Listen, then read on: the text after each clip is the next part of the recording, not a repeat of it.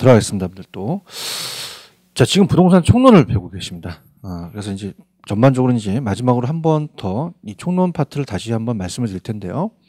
저번 시간에 부동산의 특성에 대해서 토지의 특성이 잘 나옵니다. 그래서 한 문제에서 두 문제 정도 나오죠.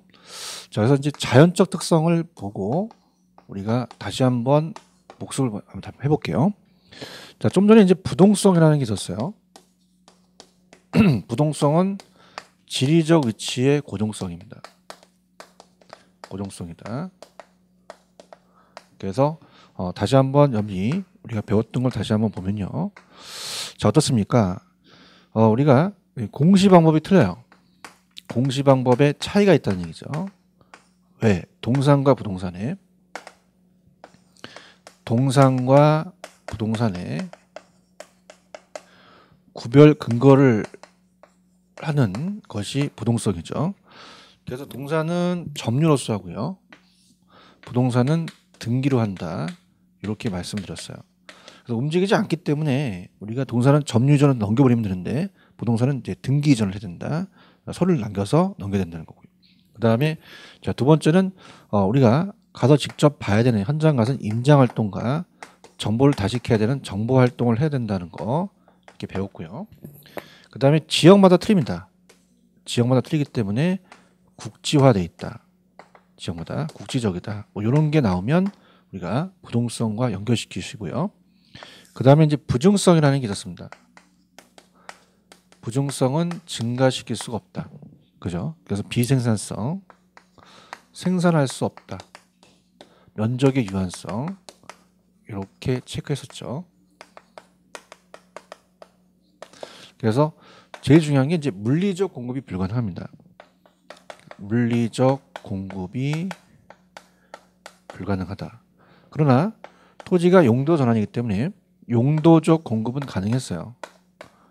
그래서 농지가 택지로 바뀌면 경제적 가치가 높은 쪽으로 공급을 하니까 우리가 이걸 경제적 공급입니다.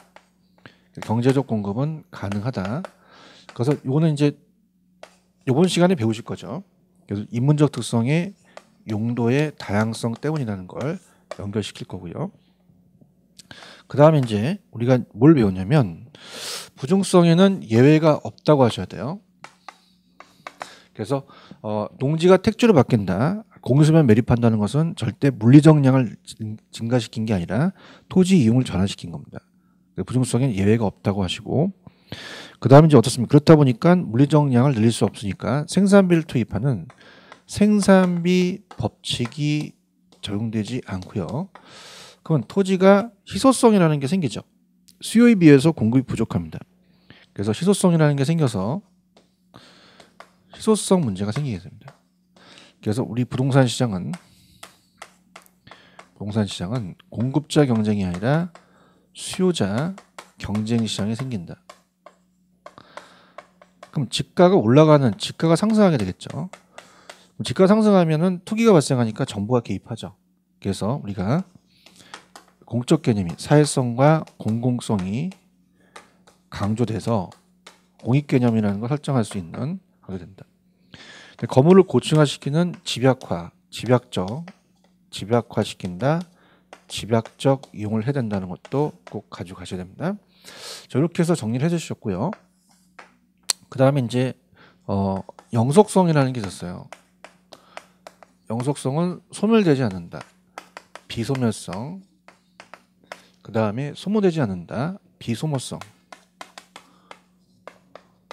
그래서 어 우리가 그 물리적 강가가 안 된다라는 게 중요했었죠. 그래서 어 물리적 강가가 안 됩니다. 그래서 토지는 절대량 물리적량이 소멸되지 못한다는 거죠. 비가 많이 와서 농지가 유실됐다, 표면이 쓸렸다 같아서 토지는 없어지지 않는다는 거죠. 그래서 물리적 물리적 강가 상각이 적용되지 않는다. 이렇게 체크했고요. 자, 그다음에 두 번째는 이제 어떤 게 중요했었어요.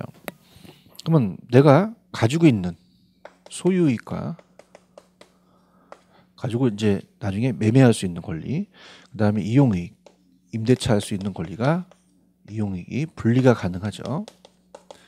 분리가 가능해서 임대차 시장이 발달돼 있어요. 남한테 빌려줄 수 있죠. 임대차 시장이 발달돼 있다. 그 다음에 어, 우리가 물리적 강가는 안 되지만 어, 왜 주변 환경에 어울리지 못할 경우 토지의 경제 강가가 발생할 수도 있죠. 그래서 우리가 어, 예를 들어서 아파트에 공이 들었으면 값어치가 올라가는데 쓰레기 밀집자가 들어서 값어치가 떨어지겠죠. 외부 환경에 의해서 어, 우리가 어, 가격치가 떨어지는 걸 경제적 강가라고 나중에 배우실 겁니다. 물리적 강가라는 건뭐 건물에 금이 간다는 게 이게 물리적 강가거든요. 이렇게 해서 보시면 되고 그 다음에 내구성과 함께 자산 가치의 보존력이 높다. 토지는 이제 어, 만 예를 들어서 어, 2억 주고 벤츠 자동차를 산 거와 토지 산 거는 20년 있다가 토지가 더 세겠죠. 그 다음에 소모를 전제로 하는.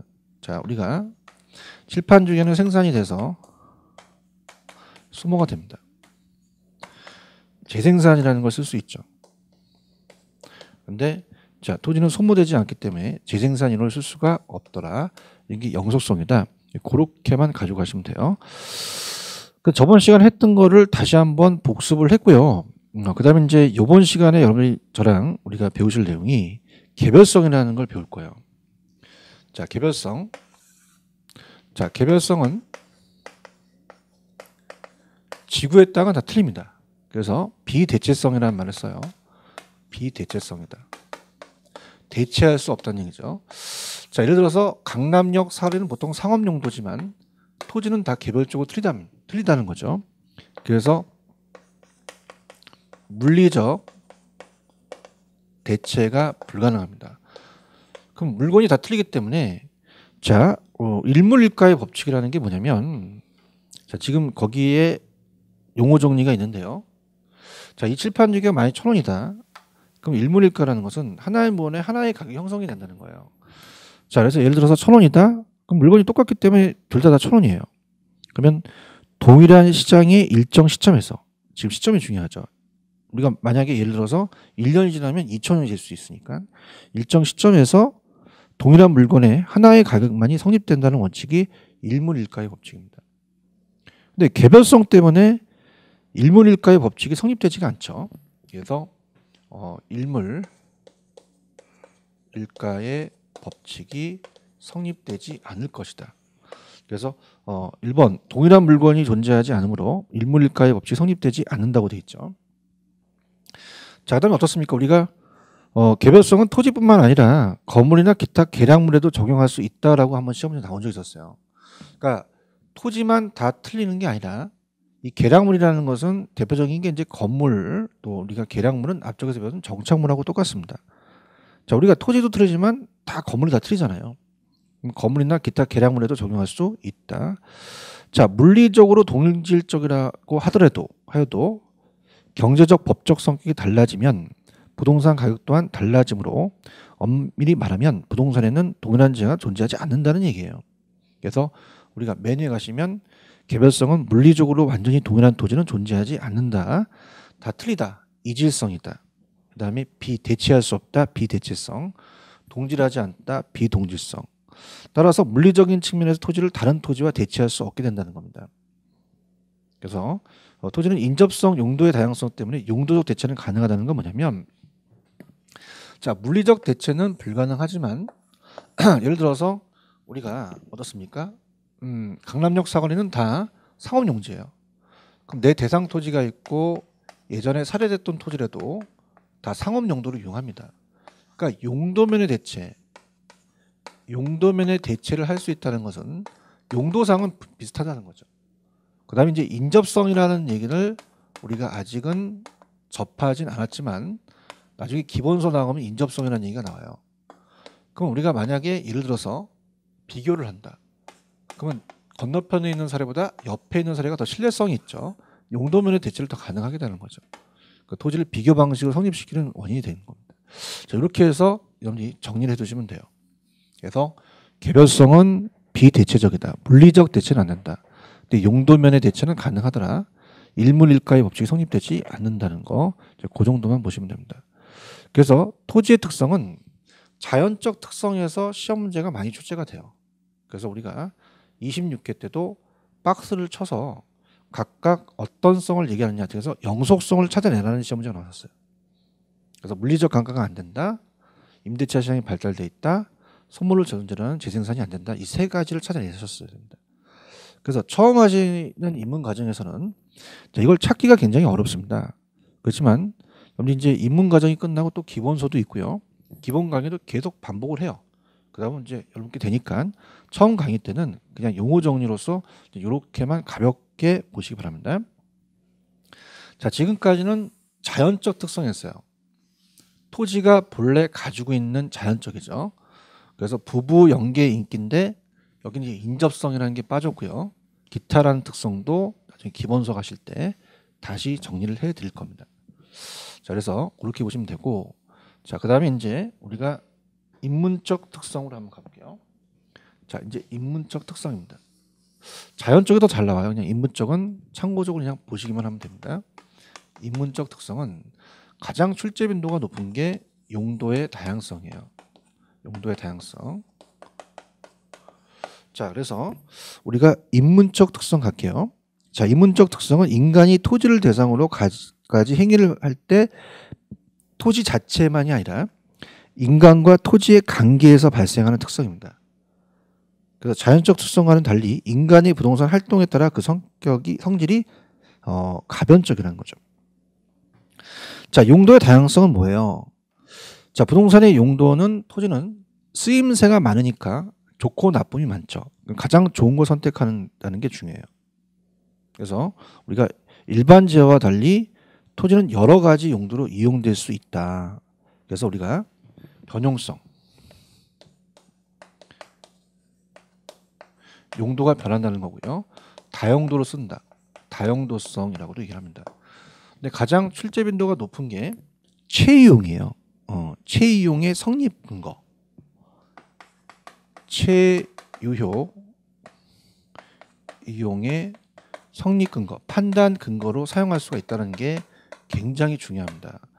앞쪽에서 이제 나지가 어, 택지로서 주상공이 가능하기 때문에 용도가 다양하다고 그랬고요. 채용의 판단에 근거가 된다고 해서 이거는 제가 부동산에만 적용되는 용어입니다 라고 얘기했을 거예요. 자, 칠판적에는 용도가 다양하지 않는 일반 지하입니다. 그럼 지우다가 여성분들이면 분바는 데 쓰진 않잖아요. 그러면 이 채용이라는 자체는 부동산에만 쓰는 말입니다. 그래서 어, 우리가 채용을 해야 된다는 거죠. 그래서 용도의 다양성은 채용의 성립 판단 근거가 된다. 어, 그래서 딱 하나의 용도로만 정해졌다면 채용할 필요는 없어요. 자, 그래서 예를 들어보면 여러분 가시다가 고등학생이 막 침 뱉고 껌 씹고 막 다녀요. 그래서 여러분이 야, 일로 와, 일로 와, 너 불량배지 마. 너, 너 그러면 안 돼. 너 반에서 꼴등하지 마. 그랬더니 아니에요. 저 1등 하는데요. 그런 거예요. 너 반에 몇 명이니? 저 혼자인데요. 응 합니다. 그럼 이거는 채용이 아니겠죠. 그죠? 그래서 채용이라는 자체는 쓰임새가 많기 때문에 가장 좋은 걸 선택하기 때문에 채용이라는 얘기를 쓸 수 있는 거죠. 그래서 용도의 다양성과 관련되고 동그라미 2번은 분명히 앞쪽에서 제가 얘기했습니다. 후보지 이행지처럼 토지 전환과 이행을 통해서 용도적 공급은 가능합니다. 그래서 우리가 농지가 택지로 바뀐다. 그럼 이거는 용도 전환이기 때문에 용도적 공급이라고 그랬어요.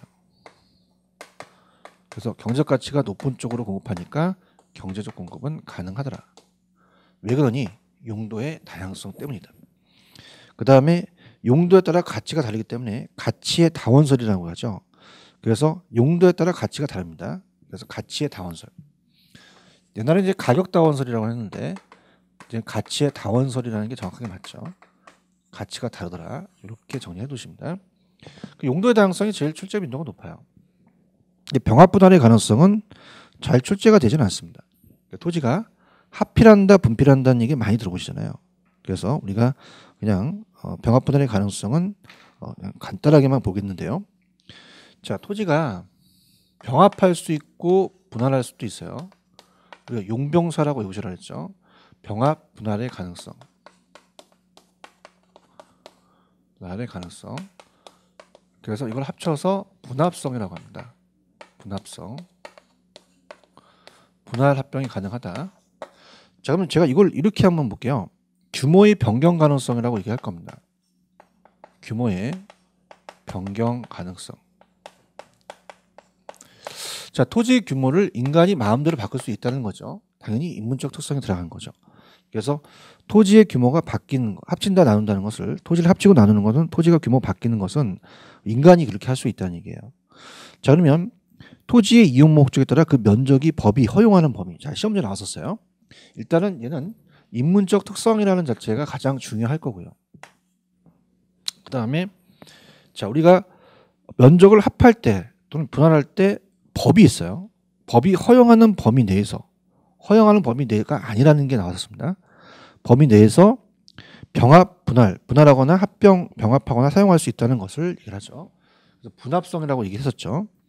그럼 첫 번째 이제 여러분이 어려운 게 용도의 용도의 다양성을 지원한다는 자체가 조금 어려워요. 자 무슨 말이냐? 용도에 따라 토지 규모는 달라집니다. 주거지도 단독 연립 아파트가 있잖아요. 잘 합치면 토지 가치가 증가되고 잘못하면 토지 가치가 감소해요. 그래서 용도의 다양성을 지원해서 간접적으로 우리가 최이용 이용하게끔 만들고요. 자, 두 번째는 쉬워요. 자, 토지가 합병한다고 꼭 값어치가 증가되는 게 아니고 감가. 우리가 우리의 건부 감가와 건부 증가라는 건 값어치가 올라가면 증가, 떨어지면 감가 이렇게 했잖아요. 그래서 우리가 어떻습니까? 어, 합병한다, 분할한다. 그럼 둘 다 증가가가 다 될 수가 있다는 거죠. 그래서 합병, 분할, 증가가. 자, 병합, 분할 할 때는 다 증감가가 가능하다. 가격이 올라갈 수도 있고 떨어질 수도 있다. 자, 이렇게 해서 보시면 되고요. 자, 그다음 이제 오른쪽에 위치의 가변성이라는 게 있죠.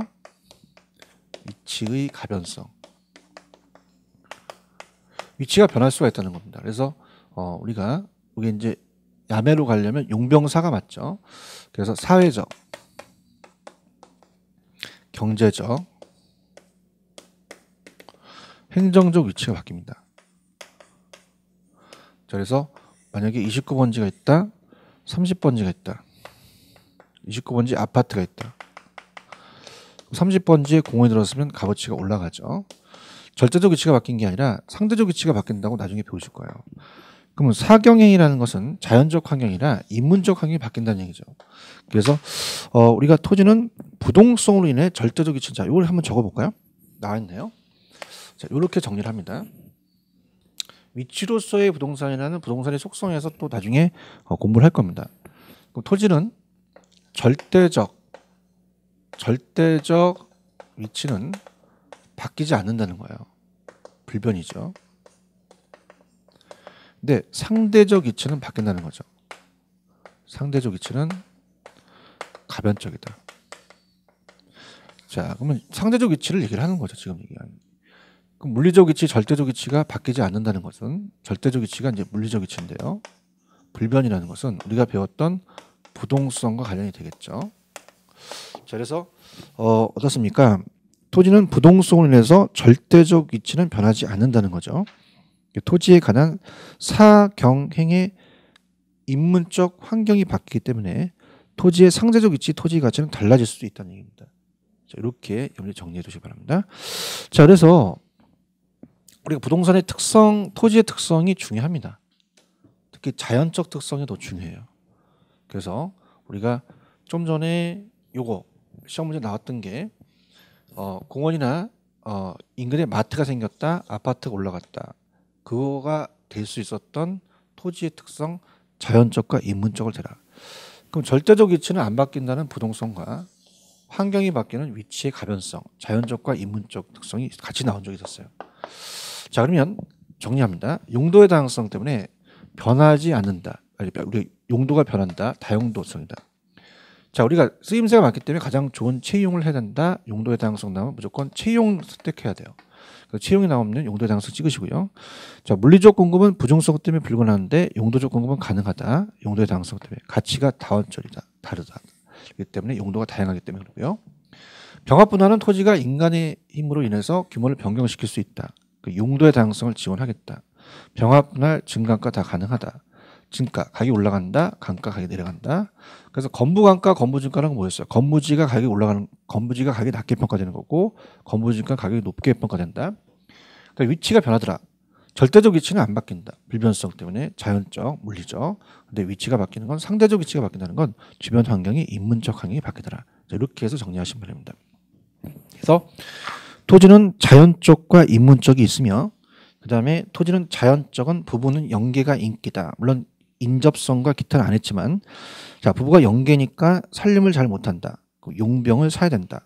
그 용병사 그 용도의 다양성, 병합 분할의 가능성, 사회적, 경제적, 행정적 위치의 가능성 이렇게 암기하시기 바랍니다. 그래서 부동산의 특성, 토지의 특성은요 문제가 무조건 한 문제 정도 배정이 됩니다. 안 나올 수가 없어요. 그다음에 이제 어, 만약에 나온다면 두 문제 가량도 출제가 될 수 있다라는 것을 염두에 두시고 염리 우리가 26회지만 27회 때도 가져야 된다고. 그래서 27회 때도 요거는 뭐 무난하게 세네 문제 정도 나오는데 자 지금 배우실 부분은 출제 빈도가 그렇게 높질 않아요. 그래서 이 속성 중에서 이 부동산 공간으로서에 대한 공간으로서에 대한 가치가 있어요. 공간의 가치. 그래서 공간이 자 우리가 이제 앞쪽에서 제가 잠깐 어 세 개의 공간이 있다고 말씀을 드렸을 겁니다. 그래서 우리가 이 공간이란 자체가 있다. 그 영속성과도 관련이 돼요. 나중에 이제 기본소가 나오는데 토지가 소멸되면 공간이 안 생깁니다. 그래서 토지는 소멸되지 않기 때문에 공간이라는 가치가 있고요. 세 가지의 공간이 있어요. 그래서 여기 지표를 수평 공간이라고 하고요. 자, 우리가 공중이라고 하죠. 공중 공간. 자, 밑에는 이제 지구 중심을 자릅니다. 그래서 이제 우리가 왜 그 여름철에 수박을 자르게 되면은 이렇게 잘 익었는지 이렇게 보잖아요. 그래서 자르 죽을 이렇게 잘랐다고 보시면 돼요. 그죠? 그러면은 음, 우리가 밑에를 지하 공간 또는 지중 공간이라고도 합니다. 그래서 수평을 이용할 수 있죠. 우리가 소유권이 공간적 범위가 그 수평 공간을 이용할 수 있는 권리가 자 수평은 수평 공간은 지표권이에요. 근데 얘네들은 쉬워요. 앞에 있는 게 따라갑니다. 그래서 공중과 지하를 이용하세요. 그럼 얘는 공중권이 되고요. 얘는 지하권이 됩니다. 이렇게 따라간다는 거. 그래서 이 3차원 공간이에요. 세 가지 공간이 3차원 공간이다. 그래서 모두를 다 우리가 입체 공간이라고 합니다. 입체 공간. 자, 그럼 가볼게요. 토지를 이용하는 것은 일반재와 달리 공간이라는 개념이 있어요. 나중에 이제 공간이 생긴다는 자체는 영속성 때문에 그렇죠.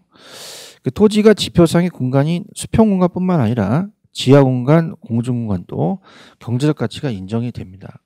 소유 또는 이용의 대상이 될 수도 있다. 즉 공간으로서의 토지는 지표, 수평 공간뿐만 아니라 지하 공중공간을 포함하는 입체 공간을 의미한다. 이게 나와 있죠. 그래서 이 공중권도 가치가 있습니다. 그래서 경제적 가치가 인정이 되며 또 소유 또는 이용이 대상이 돼서 우리가 공간을 밑에 토지 소유권도 공간적 범위로 적용되기 때문에 법률적인 개념을 잡을 수 있어요. 그다음에 경제적인 이 기술적 물리적인 개념을 잡을 수 있고 그 다음에 어떻게 돼요? 음, 법률적인 개념을 잡을 수 있죠. 그럼 이제 우리가 토지 소유권의 공간적 범위가 이제 법률적이죠. 자, 그래서 어, 밑에 민법 212조에는 토지의 소유권은 무한정이 아니에요. 밑줄 쳐보세요. 정당한 이익 있는 범위가 중요합니다. 예, 토지의 상하에 미친다고 법에 규정이 돼 있어요. 그래서 토지 소유권의 효력 범위를 입체적으로 인정하고 있습니다. 그래서 이러한 어, 토지 소유권의 효력 범위는 무한적으로 확대되는 것이 아니다. 사회적 통념이나 법적 테두리 안의 범위 내에서 그 경제적 가치가 인정되는 한도까지로 정하, 정의할 수 있다라고 한번 나온 적이 있었거든요. 그럼 공간의 가치도 그 개념은 고정적이고 절대적인 개념은 아닐 겁니다. 시대와 장소에 따라서 항상 그 나라 사회적 통념 등에 따라서 달라질 수도 있다는 거죠. 그래서 토지의 공간도 범위에 따른 권리를 살펴보면 다음과 같다는 건데 자 우리가 그냥 간단하게만 이제 우리 정의를 내렸어요. 그래서 이제 첫 번째 보시면 지표권이라는 게 있습니다. 자 지표권은 수평 공간을 이용할 수 있는 권리예요. 자 지표상의 수평 공간을 배타적으로 이용해요. 자 여기다 이제 땅을 샀어요 갑돌이가 1억 주고. 그러면 당연히 여기에다가 건축물을 올릴 수 있거나 구축물을 세웁니다. 그 다음에 어, 작물을 경작할 수도 있고 나중에 이제 이 지표권 내용 속에는 물에 관한 권리도 포함된다고 배우실 거예요. 물을 이용할 수 있는 권리죠. 예, 지표상에 물을 사용 수익 처분할 수 있는 권리도 포함이 되더라. 자, 공중권도 예전에 시험 문제 2회 때 공중을 향하여 끝없이 연장되는 입체 공간이다. 그러면 안 됩니다. 그래서 토지 소유권자의 토지 구역상의 공중권을 일정한 고도 까지죠. 그래서 포괄적으로 이용하거나 관리할 수 있는 권리를 말한다. 이렇게 하셔야 되고요. 그러면 이제 조금 더 구체적으로 간다면 개인이 터치할 수 있고 터치할 수 없는 게 있어요. 그래서 이 공중권은 자 사적 공중권과 공적 공중권은 나눕니다. 그래서 넘기시면 일조권과 조망권이라는 얘기가 내용이 나와 있죠. 근데 간단하게 본다면 그냥 그 내용은 남자면 읽어보시는데 일조권은 햇빛을 받을 수 있는 권리예요. 그래서 뭐라고 되어 있냐면 햇빛을 받아 어, 쬐수 있도록 법률상 보호되어 있는 권리고요. 조망권은 이제 우리가 어떻습니까? 한강이 보이거나 우리가 그 다음에 바다가 보이는 걸 막는 게 예, 그, 그. 막을 수 없는. 그래서 어, 건물과 같은 특정한 위치에서 자연 역사 유물 등의 유적 등의 밖에 공간을 볼 수 있는 권리입니다. 그래서 우리가 어, 우리가 이런 것들은 이제 조망권 이런 것들이 됩니다. 근데 만약에 항공권이라든지 항공기가 왔다 갔다 하고 해서 통행료 받을 수 없죠. 전파권이라든지 전파를 받자. 자, 이거는 개인의 권리가 아니라 공적이라는 거예요. 그래서 오른쪽에 실제 일조권과 조망권이 물리적인 실체가 없음에도 불구하고 이해관계자 간에 이와 관련해서 분쟁이 발생하고 그 판단에 법원이 내리는 경우가 있다. 자, 우리가 조망권이나 이 일조권이 분쟁이 발생되는 경우가 많잖아요. 뭐 연예인끼리 뭐 많이 또 뉴스에 나오잖아요. 그 법원의 판단에 가고요. 토지의 공중공간에도 부동산의 경제적 가치가 인정되는 것을 보여주는 사례로 어, 대도심 지역에서 분쟁의 대상이 되기도 하고 일조권과 조망권은 제가 사적 공중권이라고 말씀드렸어요. 근데 공적 공중권은 나오진 않았습니다. 그래서 그냥 항공권, 조망, 항공권, 접하권이 있다라는 것만 여기 알아가시면 되고요. 지하권이라는 게 있어요. 자, 지하권 개념 속에는 지하의 개념 그 자체, 광물, 석탄, 석유가스를 채굴할 수 있는 권리와 지하실, 지하도 같은 지하 구조물을 관리 유지할 수 있는 권리가 다 포함이 됩니다. 나라마다 이 자체 개인의 소유권을 인정하느냐 인정하느냐가 틀려요. 근데 이따 내용을 확인하겠지만 우리나라는 미채굴된 강업권, 국유권, 광물입니다. 그래서 광물은 석탄, 석유가스는 개인의 소유권으로 인정하지 못합니다. 소유권이 미치지 못해요. 그죠? 어, 그래서 우리가 지하권이라는 것은 사적 지하권도 있고 그 다음에 공적 지하권도 있다라고 한다면 이따 보겠지만 지하수는 이용할 수 있어요. 근데 광물은 채굴할 수 없더라. 그래서 어, 지하권이란 토지 소유권자의 토지 구역상의 지하 지중 공간으로부터 어떤 이익을 획득하거나 이를 이용할 수 있는 권리를 말하는데요. 자, 여기서부터 체크하세요. 우리나라는 토지 소유권자가 지하수를 개발하 이용할 수 있는 것은 인정합니다. 사적 지하권이에요. 근데 강물에 대해서는 토지 소유권자의 권리가 미치지 못한다는 것은 권리가 제한됐다는 건 강물은 사적에 들어가지 않습니다. 공적이에요. 그래서 이건 들어가지 않는다라는 자체가 어, 출제가 많이 됐어요. 그래서 미체군된 강물에 대해서 우리가 미치지 못한다는 자체가 많이 나왔다는 거 꼭 기억하시고요. 그다음에 부동산의 공간에도 가치가 있죠. 그래서 밑에 가시면 공간이라는 개념으로 부동산 가격을 정의한다면 부동산 가격은 부동산이 지니는 수평 공간, 공중 공간, 지하 공간에 해당하는 3차원 입체 공간의 가치를 전부 합산한 것이라 볼 수 있다. 그렇다면 물리, 경제, 법률적으로 복합 개념을 이해하자. 자, 이렇게 합니다. 제 나름대로 이제 풀어보는데요. 자, 복합 개념을 보자는 거예요. 그러면 복합 개념은 법경기라고 제가 첫 시간에 얘기했죠. 그러면 공간을 소유권을 나눴어요. 그럼 얘네들은 소유권 가지고 따졌으니까 법률적인 측면이죠. 법률적. 그 다음에 자 공간이라는 것은 눈에 비칩니다. 그래서 공간이라는 자체는 기술적인 거예요. 기술적. 그래서 기술적 그 다음에 물리적이라는 말을 쓰죠. 물리적. 그래서 어, 이건 형태가 있기 때문에 유형이죠. 눈에 보이는 겁니다. 그 다음에 복합 개념이 이제 법경기죠. 법경기. 그러면 경제적이라는 게 있어요. 자, 그럼 경제적은 자 우리가 어 아까 잠깐 말씀을 드렸지만은 자 우리가 토지가 이렇게 이렇게 자 종적 횡적으로 나눌 수가 있습니다. 그래서 개인이 터치할 수 있는 사적의 권한을 분할해서 그 경제적 가치를 판단할 수 있다는 거죠. 그러면 자 우리가 미국 같은 경우는 공주권의 가치를 굉장히 높이 봅니다. 그래서 토지의 가치가 지표 있는 토지 가치가 토지 가치가 100%라면 얘네들은 공주권의 가치를 공주권의 가치를 70에서 80%로 봅니다. 그러면 어떻게 돼요? 가치라는 자체는 가격이죠. 그래서 경제적이죠. 그래서 이렇게 복합 개념으로 본다. 이렇게 가져가셔야 돼요. 그래서 어, 시험 문제에 공간이라는 것은 물리적 기술적입니다. 경제적 가치는 경제적입니다. 그 다음에 소유권을 지표권, 지하권, 공증권으로 나눈다는 것은 자 소유권을 공간적 범위라는 건 법률적이라는 걸 정확하게 탁탁탁 체크를 하셔야 돼요. 그래서 어, 공간은 뭐니? 공간은 물리적 기술적.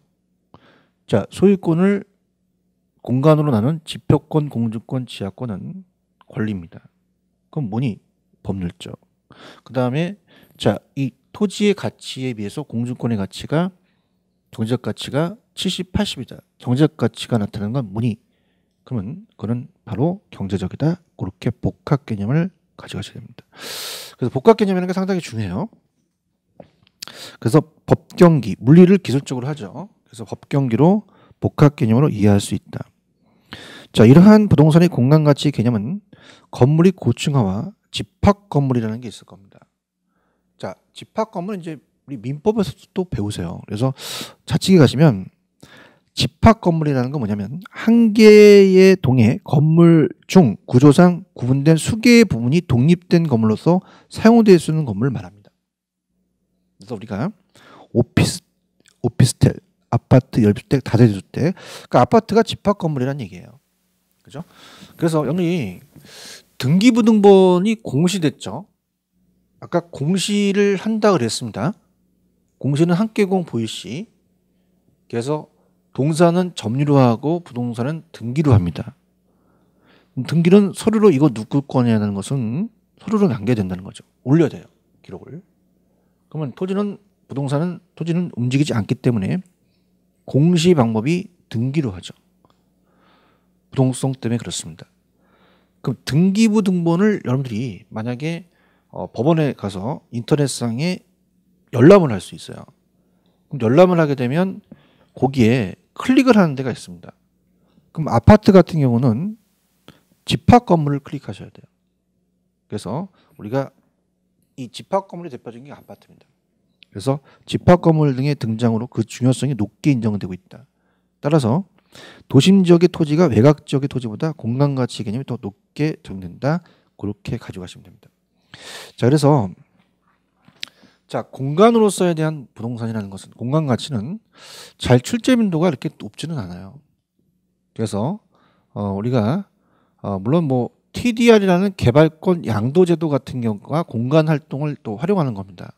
근데 여기서는 이제 체계도 없고 여기 지금 말씀을 드려봤자 내용을 모릅니다. 그래서 그냥 그거는 나중에 이제 설명을 하겠고요.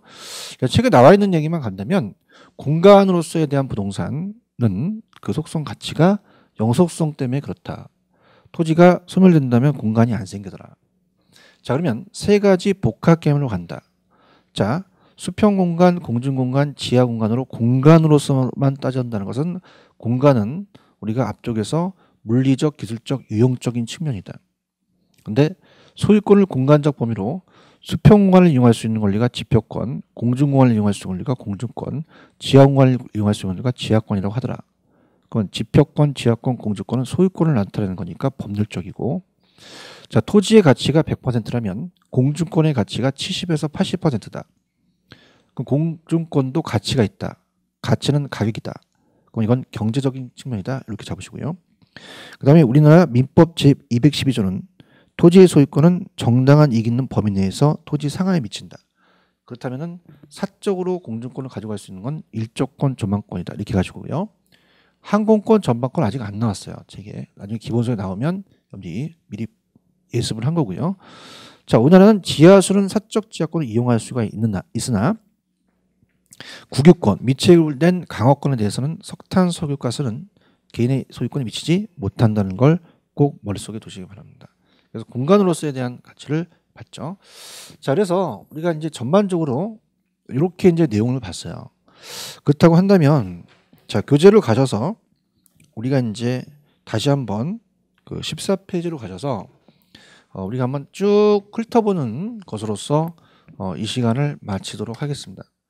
자, 부동산의 총론 세 문제에서 네 문제 정도가 정해져 있습니다. 자, 그런데 우리가 26회 때는 부동산학은 단순 수학이 아니라 종합운용 과학이면서 부동산학의 정의가 나왔어요. 그래서 어, 부동산학의 정의도 한번 시험에 나올 가능성이 있다라는 걸 가는데 부동산학의 정의는 출제 빈도가 높지는 않습니다. 그래서 올해 27회 내년이죠. 27회는 부동산의 개념을 물어보지 않을까라는 생각을 합니다. 그래서 다시 14페이지로 가셔서 복습 차원으로 가도록 하죠. 자, 우리가 복합 개념과 부동산과 복합 부동산은 다릅니다. 복합 부동산은 토지와 건물이 결합된 상태예요. 그럼 개념이 들어갔냐 안 들어갔냐가 중요하죠. 그래서 복합 개념의 부동산은 세 가지 법률 경제 기술 유형과 무형으로 나누는 거고요. 자, 밑에 복합 부동산은 토지와 건물이 결합되어 일체로 이용되는 경우를 복합 부동산이라고 얘기합니다. 그래서 복합 부동산이라는 자체는 어떻게 됩니까? 토지와 건물은 원래 별개죠. 독립적으로 부동산으로 다루기 때문에 자, 우리나라의 복합 부동산이라고 하는 것은 법률적 개념으로 잡는 게 아니라 활동상의 개념을 잡습니다. 그래서 우리 거래 활동할 때나 평가 활동할 때는 우리가 복합 부동산을 인정하죠. 그래서 이렇게 해서 정리해 주시고요. 그다음에 법률적 개념 오른쪽에 가시면은 어떻습니까? 협의 부동산이 있고 강의가 있어요. 그럼 협의는 토지 및 그 정착물의 민법까지만 얘기를 하죠. 그래서 정착물이라는 것은 계속적 항구적이 되고 자 민법에서는 토지 및 그 정착물이라고 얘기했기 때문에 계속적, 항구적, 영구적이 맞지 일시적이 나오면 안 되더라. 자, 토지의 정착물은 건물은 별도 등기가 되기 때문에 건물은 독립적인 물건이 돼서 별개의 독립된 걸로 보지만 돌담은 별도 등기가 안 된다. 토지의 일부기 때문에 토지의 종소물이다. 자, 우리가 건, 자, 헐어버린 건축물 판잣집 자, 요거 요게 안 했네요. 우리가 디귿번이 또 하다 보니까 또 안 한 게 또 튀어나오네요. 자, 디귿번 중요합니다. 디귿번에다 별표를 하나 쳐놓으세요. 아, 자, 하기 잘했네. 그래서 디귿번에 보시면은 당연히 동산으로서 취급되는 게 있어요. 자, 이걸 이제 점점 제가 빼먹었습니다. 그래서 어, 이렇게 이제 다시 한번 훑어드렸던 게 이제 제가 이제 조금 어, 유리한 것 같네요. 그래서 어 요거 어 그래서 15페이지 제가 체크해 볼게요. 그래서 15페이지에 나왔던 거 다시 한번 부동산의 개념에서 요걸 제가 말씀 안 드렸네요. 가볼게요. 자, 15페이지에 이번에 정착물의 디귿번입니다. 별표. 자, 헐어버린 건축물은 당연히 정착물이 아니 동산이에요. 그 다음에 판잣집은요. 토지에 붙어 있어도 조만간 철거하니까 무어가죠. 가식 중에 수목이 잘 나옵니다. 미줄짝. 이 가짜가 거짓 가짜요. 야, 이 가식적인 놈아. 그래서 임시로 심은 어린 명목입니다. 일단 키웠다가 본식하기 때문에 얘는 동산으로 봐요. 가식 중에 수목처럼 토지에 계속적으로 부착된 상태가 있지 않고 이동이 가능한 토, 이 물건은 부동산 정착물로 판단하지 않으며 동산으로 간다는 거 꼭 기억하시기 바랍니다. 그래서 헐어버린 건축물, 판잣집, 가지중에 수목 이런 것들은 정착물이 아니고 동산이다. 자, 3번을 했었죠. 자, 우리가 좀 전에 얘기했지만 토지 정착물이라는 자체는 민법으로서 토지에 독립된 건 건물. 담장이나 축대는 별도 등기가 안 되니까 토지 일부. 그래서 토지의 독립성이 없습니다. 그 때문에 토지 내용, 내용이 포함되기 때문에 토지 일부가 되는 것은 담장 축대 보시고. 근데 여기서 말하는 3번은 부동산 정착물이라는 부동산은 토지만 있는 게 아니라 건물도 있어요. 그러니까 건축물의 설비라는 것은 픽처, 고정된 물건이겠죠. 부착 방법이 자, 이 부착에 대한 방법이 물리적이 아니라 기능적도 포함되면서 손상 여부에 따라서 손상이 되면 어, 정착물, 손상되지 않으면 동산. 넘기시면 자, 거래 당사자입니다. 임대인이 설치한 거는 정착물, 임차인은 정착물이 아니죠. 그러나 매매 쌍방의 관계가 매도자 매도자일 때는 그것이 넘어갔기 때문에 그 설비가 정착물이 아닌지 불명할 때는 정착물로 간주되고 매수자로 간다. 자, 물건의 성격의 용도에 따라서 용도에 맞게 처음부터 제작된 우리가 어, 주문 제작된 것으로 본 우리가 방범참이라든지 건물에 부착된 유리물이라든지 교회형 책상은 정착물로 간주한다.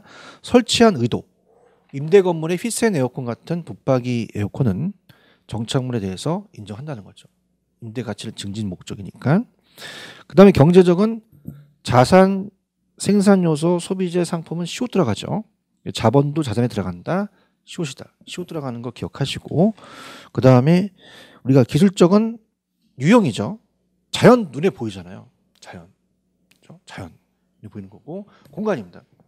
공간은 제가 기술적이라고 말씀드렸죠. 그 공간이 기술적 물리적이고 그다음에 위치, 환경 다 기술적 물리적이다. 자, 토지 이용 활동상의 토지 용어 후보지와 이행지는 용도가 전환되고 있는 것이다. 임농택이다. 그럼 임지가 농지, 농지가 택지로 바뀌는 것을 암기라 했고요. 그러면 임권택 감독의 동생이죠. 자, 임권택 감독은 영감독의 거장이십니다. 대불이죠. 그래서 오른쪽에 지역 상호간에 나오면 상은 후보가 받아요. 지역 상호간 나오면 후보지, 지역 내 나오면 이행지. 자, 택지와 부지 중에서는 부지가 넓은 개념입니다. 부지는 건축 용지만이 아니라 건축할 수 없는 우리가 어때요? 하천부지라든지 철도부지까지 얘기하는 포괄적인 용어다 시험에 나오고요. 택지는 감정평가상의 용어예요. 주거용, 상업용, 공업용으로 현재 이용 중이나 이용 가능한 토지, 건축법상의 대지와는 구별이 된다. 자, 넘기시면 나지와 건부지입니다. 오늘은 나지는 제도상, 법상, 보상 평가할 때 사용합니다. 나지 상정을 평가해요. 토지에 건물이 있어도 없는 걸로 보거든요. 그렇기 때문에 우리가 보통 택지에서 지상인 건축물이 없는 토지를 나지라고 합니다. 농지는 나지에 해당하지 않아요. 그래서 토지 보상 평가 지침에 나지란 토지의 건물 기타 정착물이 없고 지상권 등 토지 사용 수익을 제한하는 사법 사용 원리가 설정되어 있지 않는다. 나대지랑은 틀립니다. 나대지는 지목이 대로 우리가 있다는 거 꼭 기억하시고 그 밑에 보시면 나지가 높게 평가되는 게 원칙이에요. 그렇기 때문에 우리가 건부 감가라는 것은 감가란 뜻은 뭐였어요? 감가는 가격이 떨어지잖아요.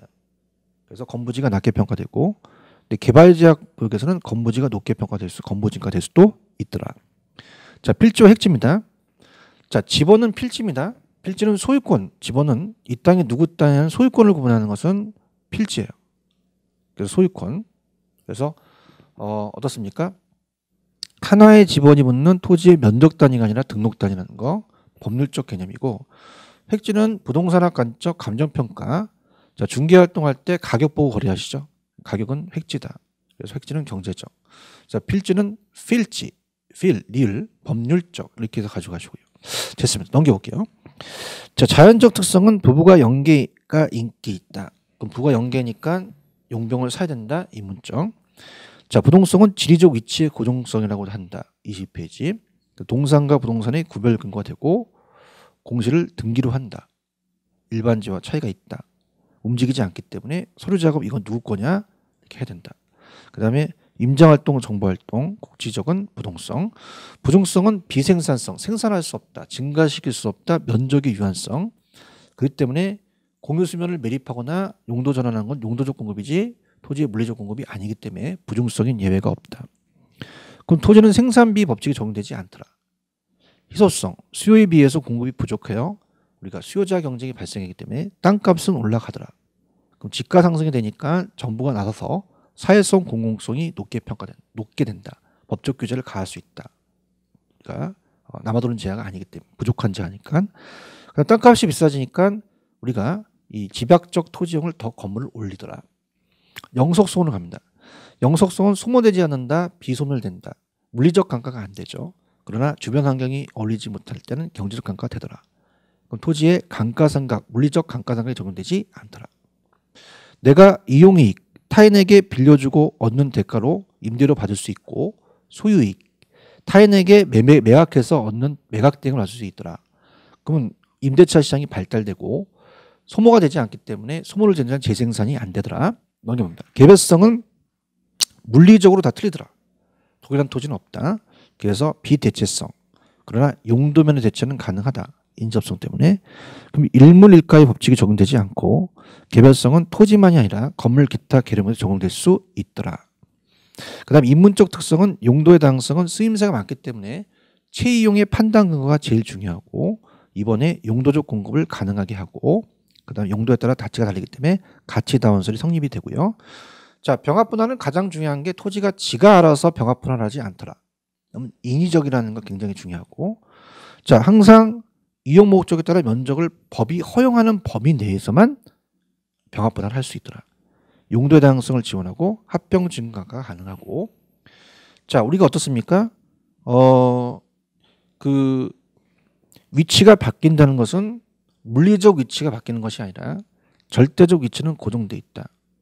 그럼 아파트에 공이 들어서거나 인근에 마트가 생겨서 가격이 올랐다고 한다는 것은 토지가 자연적, 절대적, 물리적으로 움직이지 않는 부동성과 인문적 특성의 사경행의 인문적 환경이 바뀌었기 때문이다라는 거.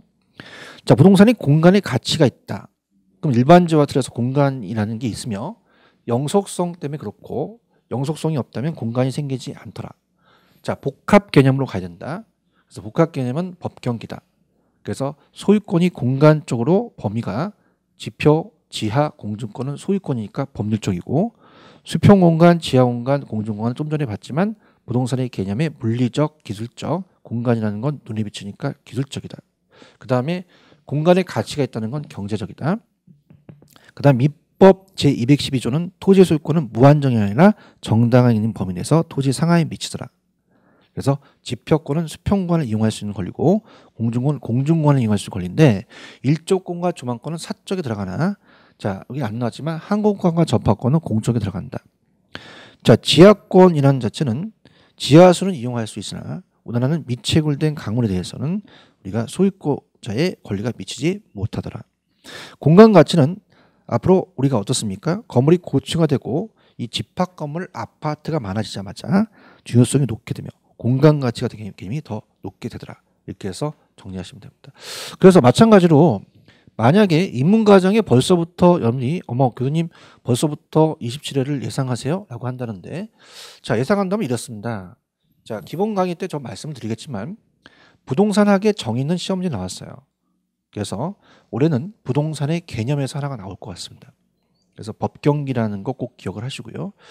토지의 용어는 출제가 됩니다. 그래서 자 작년에는 이제 26회 때는 포락지라는 게 나왔습니다. 그 전에 이제 법주와 빈지라는 게 나왔기 때문에 올해는 후보지가 있으면 ENG. 그죠? 그 다음에 어떻습니까? 좀 전에 배웠던 게 나지가 있으면 건부지. 그 다음에 필지가 있으면 획지. 여기 위주로 나오지 않을까라는 생각을 합니다. 꼭 체크를 하시고요. 자, 토지의 특성은 인문적보다는 자연적 특성이 중요합니다.